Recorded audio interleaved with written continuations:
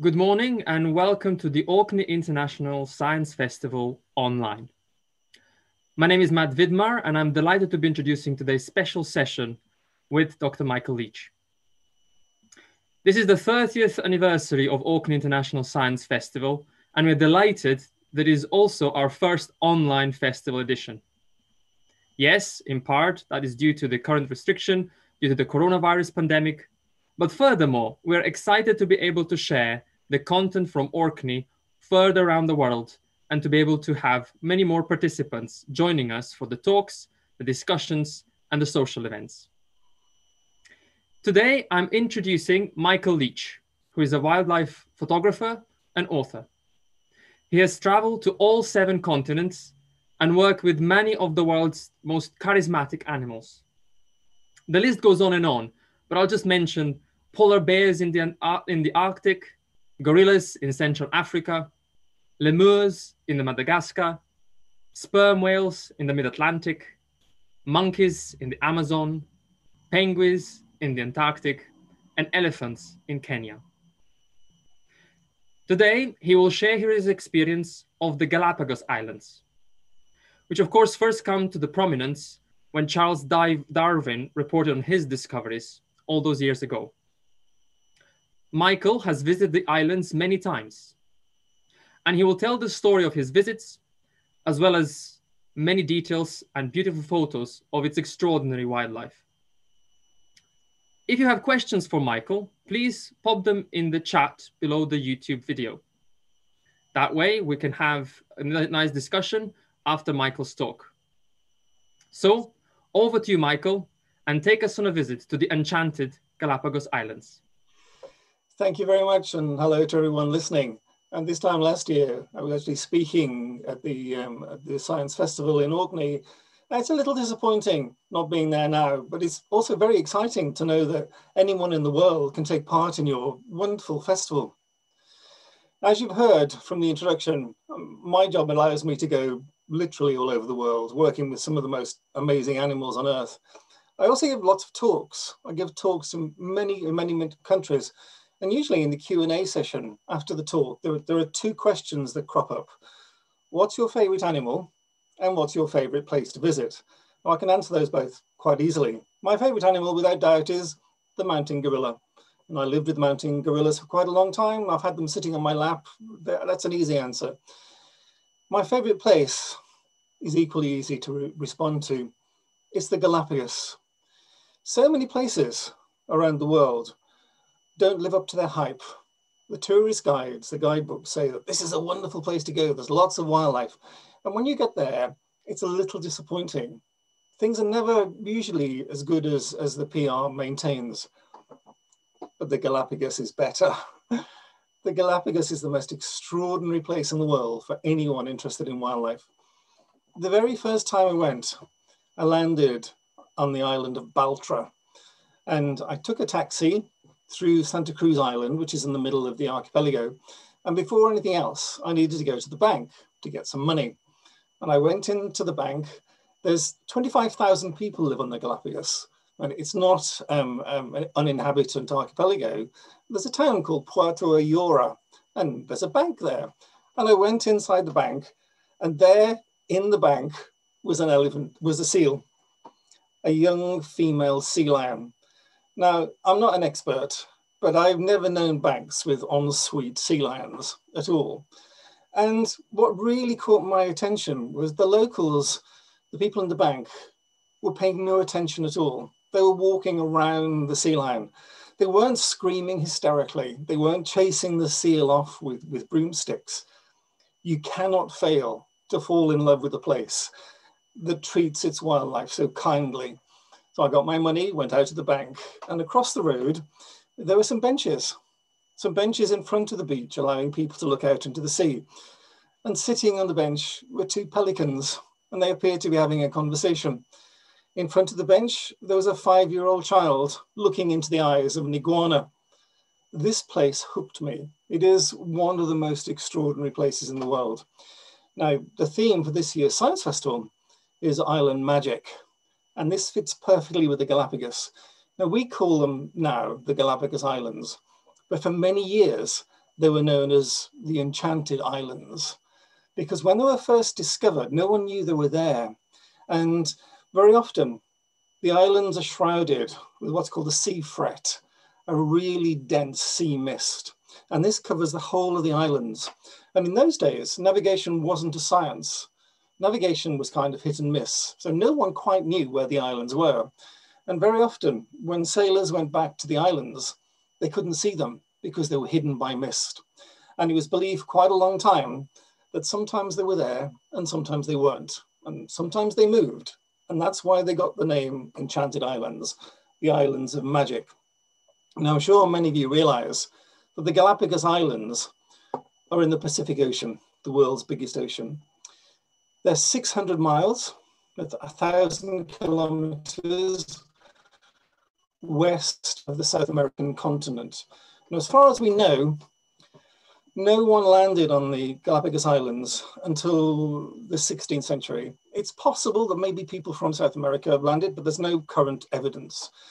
The first known recognition of the islands took place in 1535 when Fray Tomas de Berlanga, who was the, the Spanish Bishop of Panama, was accidentally blown off course and he landed on the Galapagos Islands. They were there for a few days. He then went back home to Panama and he reported to his cartographers, his map makers, he reported that he'd found these islands and they went over and they mapped them very roughly. And that was the first time that anyone was aware of the Galapagos. Now we tend to think of these wonderful Pacific Oceans as being beautiful, palm covered, white sanded beach uh, islands. But the truth is, the Galapagos Islands are simply not that pretty. The Galapagos are volcanic. They're created by undersea volcanoes. And some of the islands are nearly originally, they, they started building about 30 million years ago. Now, the islands on the east side of the archipelago are the oldest. On the west side of the archipelago, they're still being formed. Volcanoes are still erupting. So the, the islands are still being created and they're moving. The whole archipelago is moving southeast at five centimeters a year. So in, in 20 million years time, they'll collide with, with South America. When you first see the Galapagos, they're a little disappointing because instead of the beaches being brilliant white sand, they're largely volcanic. You can see black rocks. The beaches aren't sandy, they're like grit. It's something you might dig out of the bottom of your fire when you're cleaning it out. They're not the idyllic um, desert islands of, of mythology because they're active. They are still being formed. Now, the reason why the Galapagos are created is that they're in what's called a hotspot. As you can see in this picture, the Galapagos are at the very top of the Nazca plate. These are the tectonic plates that make up the surface of the Earth. The Galapagos formed where the Cocos, the Nazca, and the Pacific plate meet. And where you get these meetings, there's a huge amount of volcanic activity.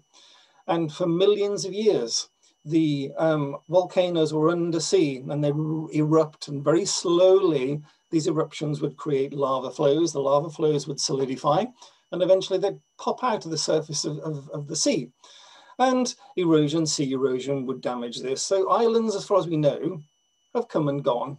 The ones we can see now will be around for a few million years and they will erode. At the moment, there are 18 major islands and literally hundreds of, of much smaller islands. And they are slowly shifting and it's a dynamic volcanic activity. The islands themselves effectively straddle the, the equator. The equator cuts through the top part of Isabella. And as you can see, there are several islands north of, of, of the equator.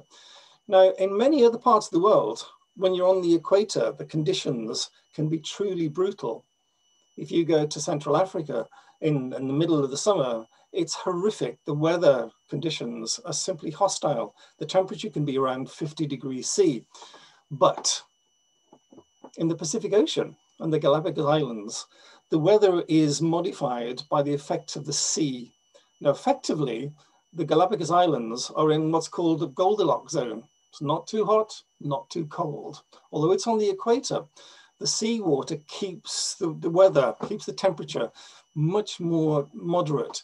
The temperature in the Galapagos hardly ever reaches above 29, 30 degrees, even at the hottest period.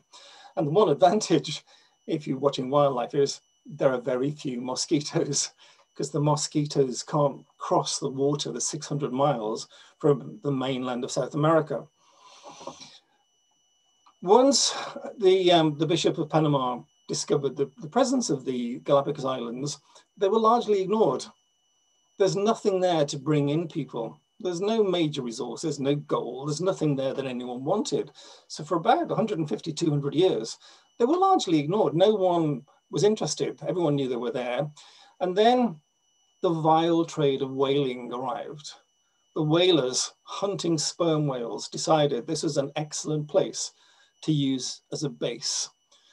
Sperm whales are he, the world's largest carnivores, and they're often found in the North Pacific.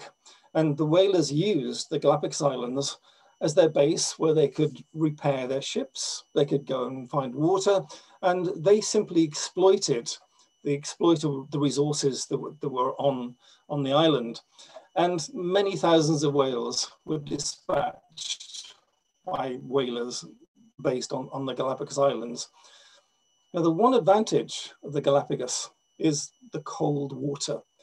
Now, as you can see, there are many island currents here. The one at the very bottom is what's called the Humboldt Current. Now, this is a massive ocean current that comes from the subantarctic. It surges up the west coast of South America and it brings with it very, very cold water. Now, cold waters are very rich in nutrients. They contain lots of, of, of food. So this produces a massive um, biomass, a large number of animals that live around the Galapagos, and a huge number of whales and sharks. There are more species of sharks around the Galapagos Islands than there are anywhere else. There is, however, one big disadvantage. You might imagine that because the islands are on the equator and the air temperature is lovely, you might think that the sea temperature is equally warm. But because of the Humboldt current, because of the currents coming up from the, from the subantarctic, the water around the Galapagos is surprisingly cold. Now, I, I, take people there, and very often if you're on a boat, and I'll say, does anyone want to go um, uh, scuba diving or snorkeling? No, I do, I do, I do. Be very careful because the water is colder than you think. And people will say, yes, that's fine, but I'm used to cold water. And they, they jump into the water and you can hear them go, ah,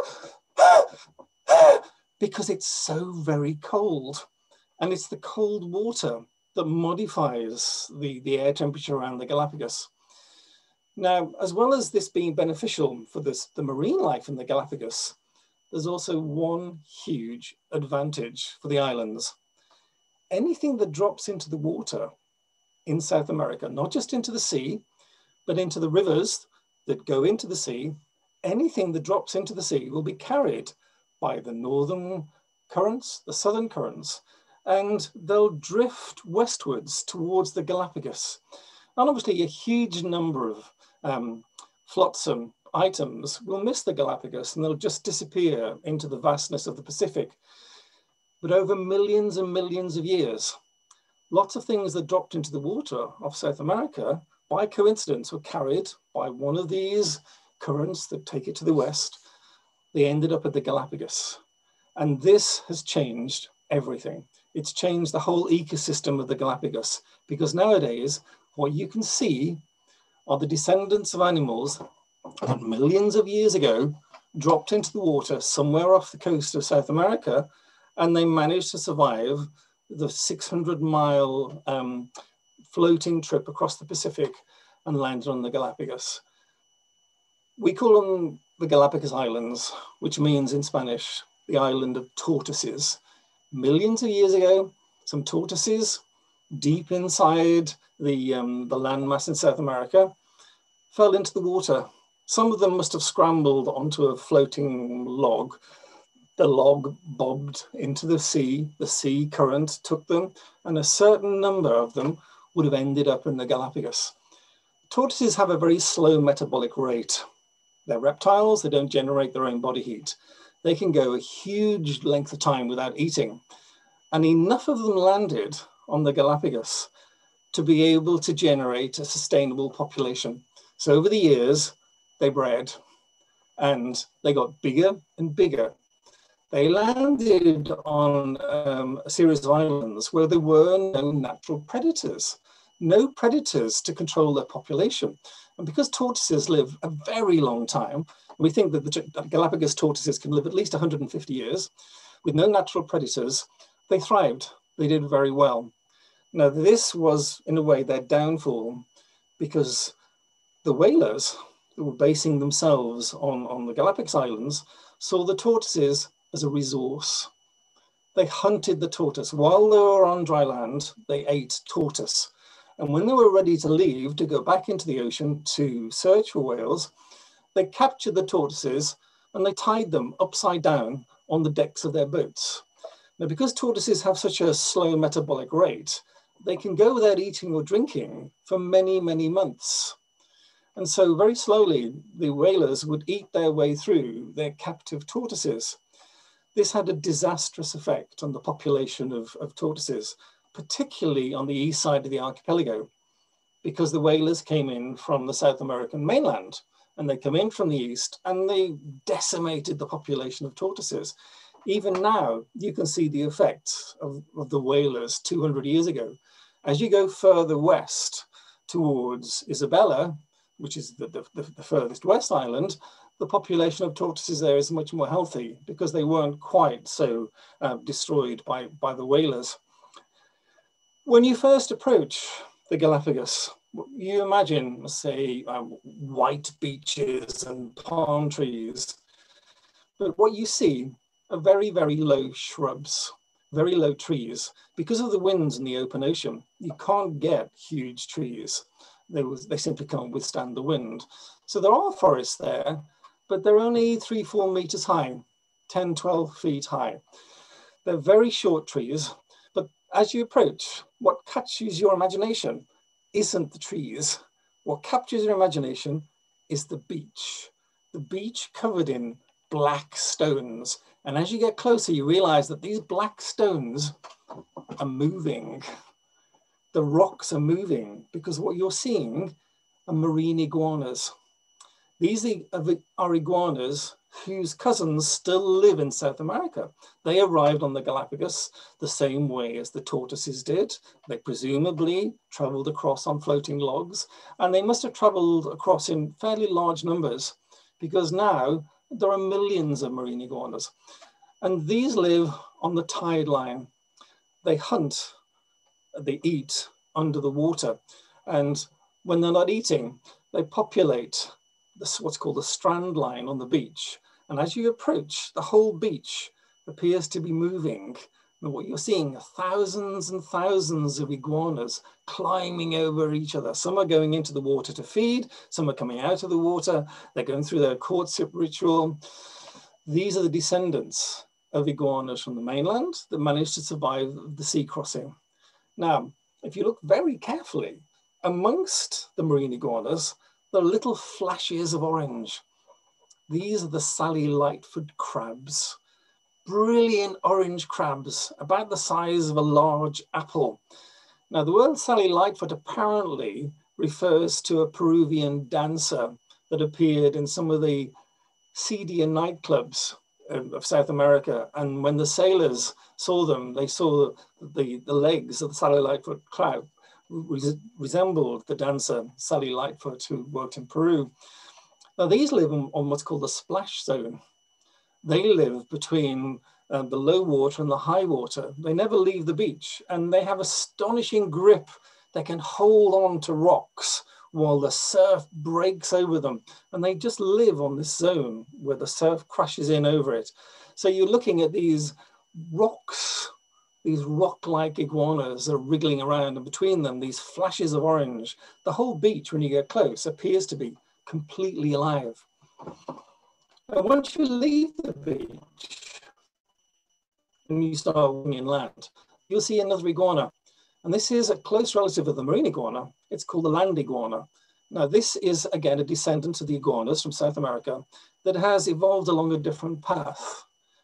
Some of the iguanas adapted to life on the edge of the sea.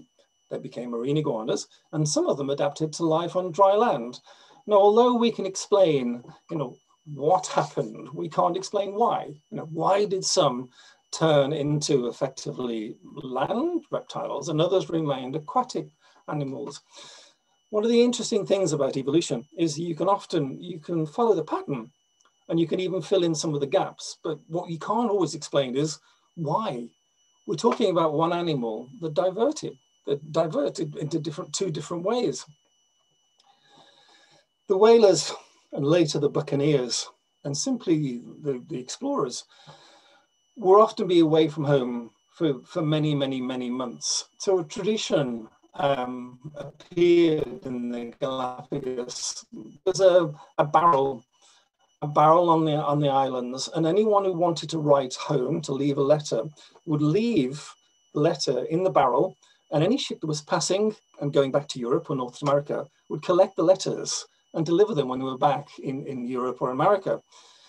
This still happens today. If you look very carefully, you can see on the top, uh, the, there's, a, there's a barrel with a roof on. This isn't the same barrel of 200 years ago but it's still there. And when you're in the Galapagos Islands and you write a postcard, you can drop it into the barrel and some kind tourist will look at it and think, oh yes, I'm going back to Massachusetts or to Paris, and they'll take it with them in the same way as the, the, the whalers and the buccaneers did 200 years ago. Humans had a terrible effect on the Galapagos. One of the worst things that ever happened is we discovered it. Uh, the, the complete wiping out of, of, tortoises was only the first step in a whole series of, of, of faux pas that we committed. People who went to the Galapagos in order to hunt tortoise eventually got fed up with tortoise meat. And they knew they, they would go back to the islands every two, three, four months. And they wanted to vary their diet. So many ships decided to introduce a new food source. So they brought goats over from the mainland they took live goats and released them into the islands. Uh, goats reproduce much faster than the tortoises, so that they, they bred very, very quickly. Now, because they have a much higher metabolic rate, they eat more, they breed far quicker than tortoises, and slowly they started to effectively eat their way through the tortoise's habitat. Left to their own devices, the goats will completely destroy the ecosystem on the islands because they're eating what the, what the goats eat. The goats are eating what the tortoises eat. Tortoises and goats eat the same thing, they eat vegetation. So the Galapagos government, I'm sure you all know, the Galapagos is now controlled by Ecuador. The Ecuadorian government have decided in order to protect the ecosystem in the Galapagos, they have to wipe out the goats. So there are marksmen now that are slowly removing all the goats from the islands now, that may sound a harsh thing to do, but unless the goats are controlled, the population of tortoises and the Galapagos will eventually disappear because they simply can't compete with an animal that eats more, is more aggressive, can move quicker, and reproduces far faster. Not much happened between 1535 and 1835. Ecuador claimed ownership of the Galapagos Islands and eventually, because no one wanted it, it had no commercial value, Ecuador decided to use it as a prison. It was a large outdoor prison. And all the baddies from Ecuador were shipped over to the Galapagos. And if they survived, fine. If they died, that was okay as well. It was effectively a large outdoor prison. 1835, September. Along came a ship called the Beagle. And it contained a young man, an amateur naturalist by the name of Charles Darwin. Darwin wasn't a zoologist. Darwin started life as a medical student and he decided he didn't like surgery. He was a bit squirmish about blood. He then started to retrain as a, as a country vicar. He wasn't too keen on that either. So his father got him a job as an amateur naturalist on a boat called the Beagle. And in 1835, September the 15th, so we're almost at the 185th anniversary of Darwin arriving on the Galapagos, he landed. Darwin wasn't an arch conservationist. One of Darwin's real interests was eating the wildlife. When he was a student at Cambridge University, he ate tawny owls, cormorants, herons, He was passionate about eating wildlife. When he landed on the Galapagos, he too ate tortoise. But he had a very inquiring mind and he didn't just want to eat the wildlife, he studied it. And it's not difficult on the Galapagos because the animals there, they're not tame. They're absurdly tame. These are the tamest animals in the world. Now, I, have worked all over the world, and normally when you're trying to photograph a wild animal, you have to be quiet. You move very slowly. If the animal turns and looks at you, you freeze. You try and keep your silhouette against a, a tree or a dry stone wall so you don't appear on the skyline. And when I first went to the Galapagos, I tried that using the normal techniques I would anywhere else. I remember approaching this, it's called a lava gull. It's the rarest gull in the world. There's only 220 pairs of these on the planet. And I thought, it's so rare, it has to be, it has to be timid. And I remember creeping up very slowly on the lava gull. And next to me, around the corner, came a group of school children. They were shouting and whistling and they walked up to the lava gull and took pictures. These animals are extraordinarily tame because no one hunts them. So Darwin was able to study at very, very close range some of the tamest animals in the world. And there's one that caught his attention, the mockingbird. Now you can find mockingbirds in North America. But Darwin looked at these mockingbirds, a species he recognized, and he realized they were very slightly different. So the mockingbirds on one island, although it's the same species, look very different to a mockingbird on an island to the west of the archipelago. And he couldn't work out why. Why on earth? It's the same animal coming presumably from the same ancestors. Why do they look so different? Darwin was on the islands for five weeks. Now, most people that spend five weeks in the Galapagos come away with some very nice pictures and, and a suntan. Darwin came away with a theory that changed the history of science. Because Darwin, over observation and going away and thinking about it, began to realize that on each of the islands, the animals were very, very slightly different. Because the islands are at different ages, the ecosystem of each island is different. So if you have an island that's six million years old, it's been able to evolve a complex ecosystem with lots of plants that have been brought in by the wind or by the sea or on birds' droppings. But if you have an island that's only a million years old, it hasn't had that time to develop a complex fauna. And therefore the ecosystems are, are very different. And Darwin looked at, at, these animals and realized there were considerable differences, not just with, with mockingbirds, but with the tortoise. Now, if you look at this tortoise, it has a shell that's fairly high domed. Now this tortoise has a domed shell so it can lift its head and browse. Browsing means it feeds off leaves and it needs to do that on an island where there are shrubs and trees because leaves from trees provide a, a huge source of protein. Now, further west, there are islands where there are no trees because they haven't been around that long. And those tortoises don't have the dome shells. They have shells that come right down to the animal's head because these animals don't browse, they graze. They feed off ground plants. So that the tortoise's shell fitted that specific habitat, even though they came from the same source species millions and millions of years ago. And Darwin started to understand that each island had its own particular fauna, its own animals. And the animal that demonstrates this best of all are the finches. They're known now as Darwin's finches. And you can look at the, beach, at the beaks of finches and realize very quickly, although fundamentally they are the same animal, their beaks are different. You look at the beak of this finch, it's a tough, strong beak it's designed to open shell um, seeds with really, really thick shells. This one is a generalist finch. This beak can't open very strong shells. And each island has its own beak design. The one on the top left, that's a beak that opens strong shells. It's a seed eater. the one on the bottom right, that can't open shells. This one feeds on, on insects because it lives on an island where there are no trees that produce seeds with strong shells. This beak is designed to winkle out little wriggly things amongst the stones. Darwin went away and it took him many, many years to work out why this was happening.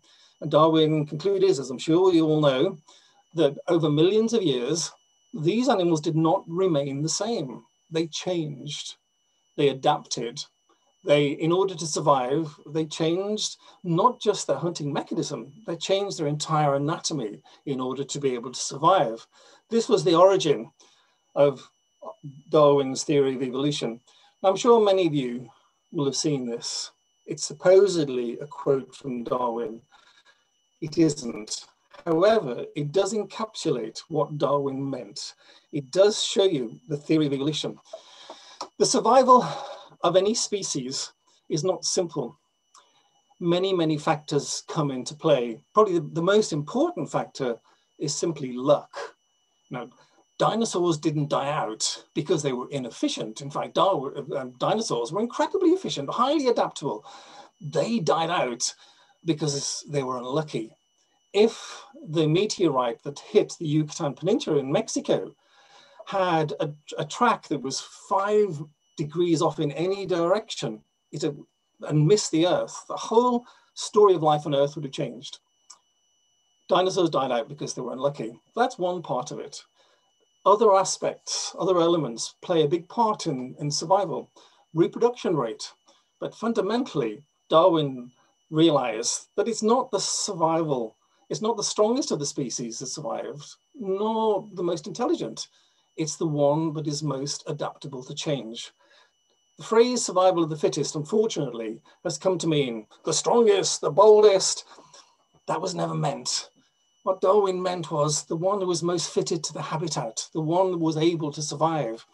Now, we can't prove this, but we're pretty sure that many, many other species of birds and mammals landed on, on, on the Galapagos Islands and they died out. They died out because they couldn't adapt. And sometimes that's just bad luck. If you're an animal that requires a tropical rainforest to survive and you land on an island like the Galapagos, you're doomed. You can't, you can't find breeding habitats, you can't find enough food. If 12 tortoises arrive on the island and they're all male, the species will die out. There's an element of luck, but fundamentally, it's the survival of those that can adapt. And the animals you can see now have adapted. This is a lava heron and its adaptation comes in the coloring. If you're a heron that's bright yellow, and you can find those in Africa, then the prey you're trying to catch can see you. But if you're a heron that's the same color as the, the lava flows, your camouflage is so effective, you're much more likely to be successful at hunting. And evolution works by, you get huge variation in any species. Dark herons, light herons, the herons that are light won't hunt so successfully. They won't eat as much, they won't live as long, and they won't reproduce as much. Therefore, they won't pass on their light genes to the next generation. Darker herons will probably more, be more successful. They'll live longer, they'll pass on their genes to the next generation, and slowly over, over many, many years, the animals become darker. Now, very quickly, one of the last problems that humans introduced to the Galapagos affects the bird. These are birds called boobies. They're effectively gannets. This is the red-footed booby, and this is the red-footed booby's worst enemy, the rat, the black rat. When humans came, we introduced goats intentionally. We also accidentally introduced rats. And rats are what we call granivores. Normally, they eat cereals, but these, because they're so adaptable, they've turned slightly carnivorous. And these are hunting things like the boobies that nest on the ground. They're eating the babies, they're eating the eggs. So humans have had a devastating effect on the natural history of, of the Galapagos. I've been to the Galapagos many, many times, and I have probably about 22,000 pictures. Now, you think this talk was due to last for 35 minutes, but I hate to tell you, you're going to be here till next November if we're going through all the slides. And sadly, we don't have time. So I hope I've introduced you to the Galapagos to the importance of them. They are now a world-class site. 98% of the Galapagos is devoted to the animals. Humans can go, but they can only go on 2% of the islands. The Ecuadorian government treat the Galapagos with true respect. They are doing everything they can to conserve these remarkable islands. Tourists can go, but they're controlled. The numbers are controlled and access to the land is, is controlled. It's one of the most fabulous places on earth. And of all the, the destinations I've been to, the Galapagos really have to be, for me, number one. So please read more about it. We can't do it justice in 35 minutes. So if there are any questions now, I'd be delighted to answer them. Thank you. Well, thank you so much, Michael. This was totally fascinating. And of course, you know, I could be watching the, I be looking at those images for the rest of the day. I mean, so many interesting creatures and so many uh, fascinating details. We've actually received quite a few questions from our audience. So I'll just start with them, if that's okay. Please um, do. Quite, quite a lot of questions to do with um, with the with some of the animals as well as issues related to climate change as well as geology.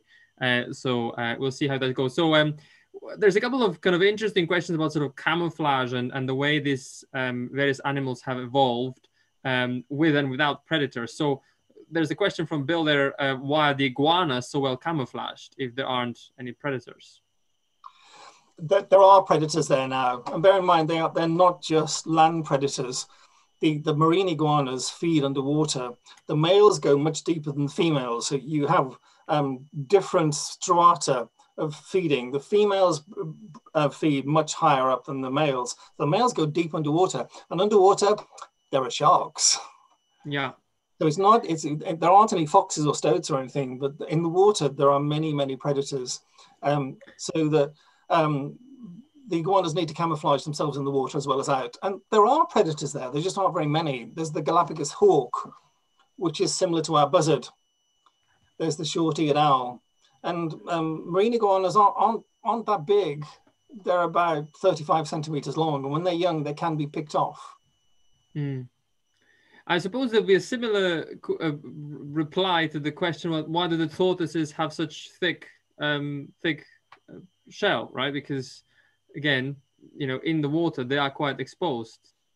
The tortoises don't go into the water. It's turtles go into the water. Sorry, tortoise yeah. a land animal when, when animals um, arrive on an island, there's a phenomenon called islandization that is not entirely understood.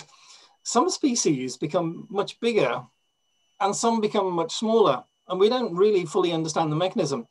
Now, normally, when, when you get something like a tortoise, which is edible to lots of other animals, its population is controlled by predators. So there are tortoises over in the mainland and South America, but they're, they're, they're eaten by things like jaguars. Yeah. There's, there's no big cats on, on, on, on the Galapagos. So with, with no predators, the animals are free to exploit the environment. And one of the things they do is, is to get bigger and bigger and bigger. Now, if you're going to, and they, a big tortoise can be 140 years old and weigh three times as much as a human. In order to sustain that mass, they need a very thick shell just to be able to support their own body effectively. It's, it's effectively it is part of their skeleton. Yeah, exactly, exactly, exactly. Now the the the, uh, the, tortoises live a very long time, and there are some, some tortoises on Santa Cruz that have bullet holes in them, wow. where, they, where they were shot a hundred years ago by by people who uh, were hunting them for meat. Wow! Because their metabolism is so slow. If if I got shot, what would kill me largely is a shock because my metabolism would respond very badly to it. But if you're a tortoise, you can survive that sort of trauma. And so the, we've x-rayed some of the tortoises and you can see by looking at the bullets that these are bullets that haven't been used for 90 years. So wow. the tortoises have been carrying them around since the last century. That that is that is you know and and, and just that specific adaptability, you know, in a sense, not adaptability, but you know, defense mechanism effectively, which is just this low metabolism, of course, has all sorts of other consequences as well. You know, you mentioned some already. Um, so there's an like almost everything else in biology there's an advantage and a disadvantage to a slow metabolism it means they can survive periods of starvation very well the, the, the, the whalers understood very quickly if you take a, a, healthy tortoise, turn it upside down, and tie it to a, a, deck, it can go six months without eating or drinking. So wow. when they want to eat it, they'll kill it because they don't they don't burn that much energy. When you listen to a tortoise heartbeat through a stethoscope, you hear a human, he goes boom, boom, boom. You hear a hummingbird, he goes because it's 400 beats per minute. Well, you listen to a tortoise, it goes boom, boom. You know, everything wow. very slow about the tortoise. Um, and so uh, that, that helps them survive um, crossings of a thousand kilometers from the mainland of South America. It's yeah. one of the reasons why they managed to arrive on the Galapagos. Indeed, I mean, uh, and they don't. They, I mean, they are relatively. I mean, they're not fast, obviously. They're relatively slow, but they are very aware, right? Yeah, they are. They don't take a lot of notice of the outside world because there are still cats have been introduced. Cats are probably one of the most dangerous large predator on the islands, but they don't attack tortoises. Once they reach a certain weight, tortoises have no have no real enemies, and they just they just wander around minding their own business. And they're they're very slow. Everything about them is terribly slow, and they're lovely to watch. That, that's brilliant. Now, do you think? I mean, this is an interesting question. Somewhat relates to um, the changing climate, but also um, um, potentially in discovering new wildlife. Do you think that the loss of ice at the poles will reveal evidence of previously unknown creatures? There will be new things. Well, certainly not anything large. I'm sure you may have heard that um, they've just found bacteria. In, the, you know about the bacteria in the deep sea well, uh, let's explain for everyone. And you're much more of an expert than I. I'm I'm in physics mainly. okay. Uh, bacteria is, is, a, is a, str strange life form. It can survive. It appears to have no natural lifespan. Oh, but bacteria has been brought to life and it's 30,000 years old. So it's effectively it's been in suspended animation for 30, 30 million years, 30, 30,000 years. It's unlikely we're going to discover any large vertebrates now. Yeah. The truth is we've discovered most. Every every so often we find a new a new bird. We're finding new invertebrates all the time, new beetles, new flyers, but the large mammals, largely the large invertebrates have been have been discovered. So the, the problem isn't finding new species, it's wiping out the ones we already have. And with global warming, if global warming, without going too deeply into it, will result in a rise in sea levels yeah. sea levels all over the world will rise and uh, very low-lying islands like the Maldives and the Galapagos will be swamped. So we're much more likely to lose animals as a result of this rather than to find any. I suppose similar variation also now occurs due to the El Nino effect and the impact of global warming on on the on this on this phenomena. Is that is that right? It is, yeah. El Nino effect is is potentially worrying. We can't actually work out the likely patterns of change as a result of global warming. It's enormously complicated. You know, supercomputers can't work out what's going to happen. But we do know that as the Earth gets warmer, weather patterns change. We've had an extraordinary um, summer here in Europe, and it's happening literally all over the world. It will have an effect. It will change things like ocean currents. So if, say, the Humboldt current changes, it only has to change by 10 degrees. Instead of going up to the Galapagos, if it starts swinging west before it reaches the Galapagos, it'll change the entire ecosystem because the temperature of the Galapagos is controlled by the cold water in the sea. If that water warms up, everything changes on the island because it's, it's a giant radiator that can cool the islands or heat them up. So changes in, in, in, um, in global warming like that are potentially lethal. Indeed, indeed.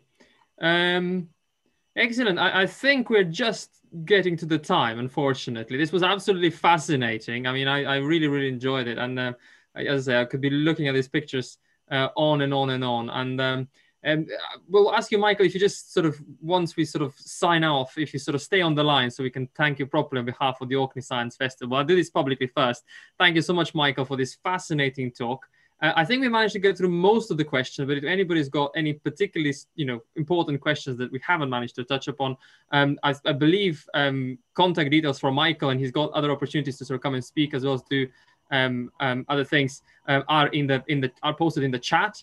Um, also in the chat should be details about a couple of uh, further events. Uh, in particular, uh, just in a few minutes, we'll start our daily uh, PD Kirk lunch. Uh, this will be the, last, the last PD Kirk lunch of the Orkney International Science Festival because, of course, today is the last day of, of the festival. Uh, I believe there's still some tickets available for that. Um, and as I say, they'll appear down, um, the links will appear down in, in the chat.